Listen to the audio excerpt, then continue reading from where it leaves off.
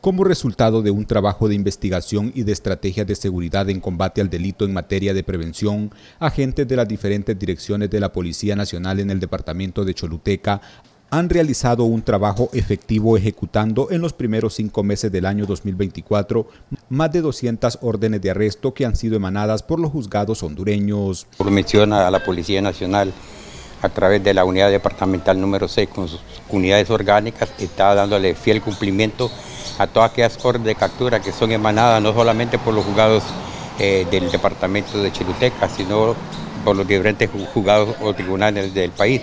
Hasta el momento pues se han capturado a lo que va de la fecha más de 200 personas eh, que tienen pues órdenes de captura pendientes, en el cual pues pendientes de fechas años anteriores.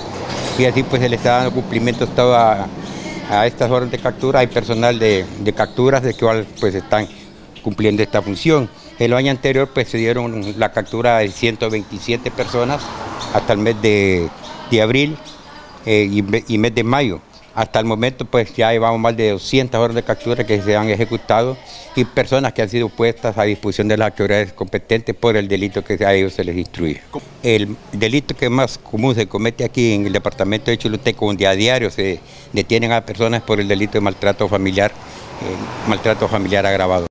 Se han ejecutado más órdenes de captura en lo que va del año 2024 en comparación al mismo periodo del año 2023.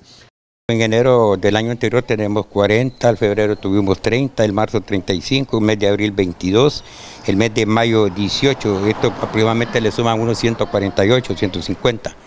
Este año pues ya en enero se llevan 60, en febrero 54, en marzo 41, en abril 31 eh, le suman 156, no tenemos todavía el mes de mayo que ya van cumpliendo más de 60.